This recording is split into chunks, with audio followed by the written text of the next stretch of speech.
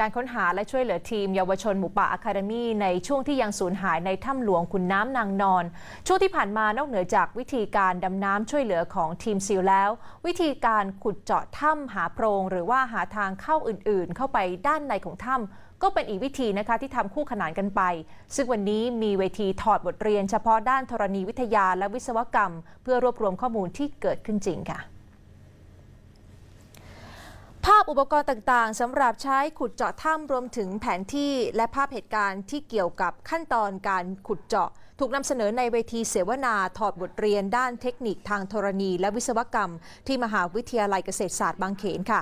ซึ่งก็เป็นภารกิจที่สนับสนุนการค้นหาและกู้ภัย ทีมหมูป่าอะคาเดมีในช่วงที่สูญหายการถ่ายทอดข้อมูลต่างๆ มีทั้งจากกลุ่มคนที่ทำหน้าที่ด้านธรณีวิทยา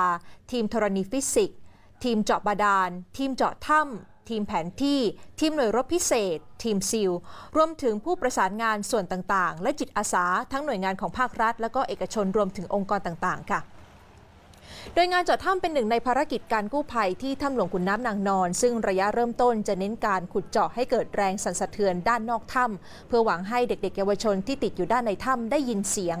แต่หลังจากนั้นการขุดเจาะเน้นหาโพรงและระบายน้ำต้องทำภายใต้เงื่อนไขที่ต้องทำงานแข่งกับเวลา อุปกรณ์มีข้อจำกัดพื้นที่ไม่เอื้ออำนวย ปริมาณน้ำจำนวนมากที่ต้องเร่งระบาย รวมถึงสภาพฝนตกหนัก และหมอกลงจัดในระหว่างการปฏิบัติงานค่ะ คือเราหลังจากที่เราทราบอยู่แล้วว่าซิลเนี่ยเข้าพื้นที่ยากนะครับทำยังไงถึงจะเจาะแล้วก็ช่วยซิลได้นะครับ ทางหนึ่งก็คือการเจาะเพื่อที่จะระบายน้ำออกนะครับ จากตรงโถงถ้ำณบริเวณซึ่งต่ำที่สุดแล้วก็ยากที่สุดนะครับ ซึ่งตรงนี้เราได้ทีมงานเจาะน้ำมันระดับประเทศ แล้วก็ระดับโลกจริงๆแล้วระดับโลกเลยหลาย ๆ บริษัทเข้ามารวมกัน โดยผลที่ได้จากการถอดบทเรียนในวันนี้จะรวบรวมเพื่อเผยแพร่ให้กับทีมวิชาการ หรือว่ากลุ่มบุคคลที่สนใจเป็นความรู้ด้านธรณีวิทยาและวิศวกรรมต่อไปค่ะ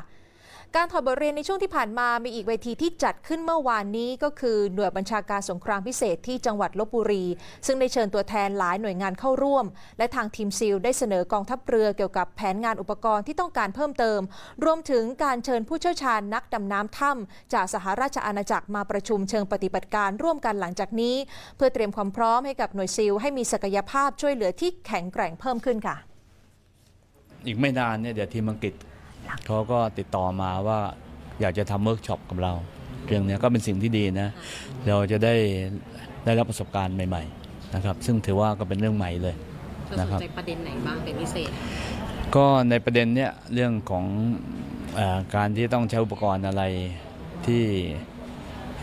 เหมาะกับการดำน้ำในลักษณะอย่างนี้นะครับ แล้วก็อุปกรณ์อื่นอย่างเช่น เครื่อง